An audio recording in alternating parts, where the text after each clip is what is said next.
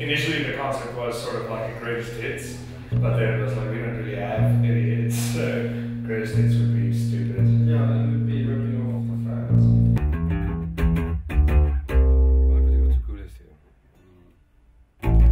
Hi, I'm Snake from Fokofpolisiekar and you're watching the making of our new EP Antibiotika.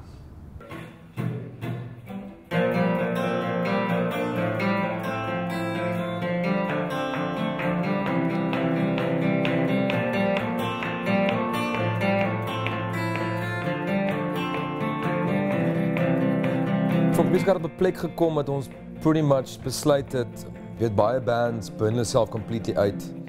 En dan ehm um, is dit die einde daarvan. En ons was seker goeie vriende, jy weet, en is nog steeds goeie vriende. En ehm um, dink ons daarvoor ding die logical ding om te doen, move om te maak is om net completely 'n break te vat.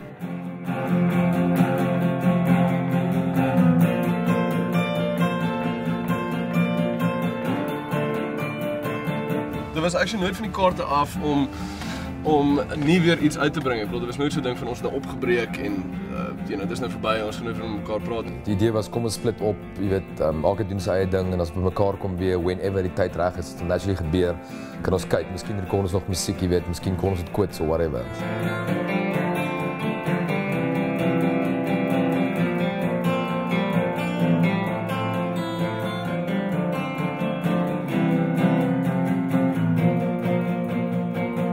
Ons het in die afgelope ruk baie shows saam gespeel en die vibe is lekker. You know, it was the same set. We didn't really have any new material, so I think up band, you know, they were writing material on their own, and me and Ladu, we were writing separately. So I think it was um, sort of fun for all of us to now go back to what kicked off this whole thing.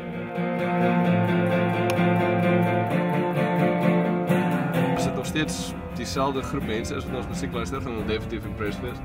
En dan die harder tracks of is harder tracks op die tussen vier songs, so dit like.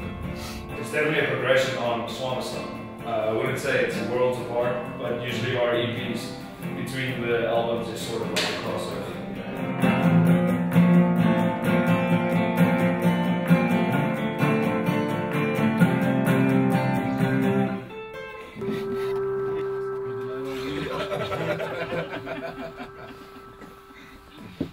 Vale, esto.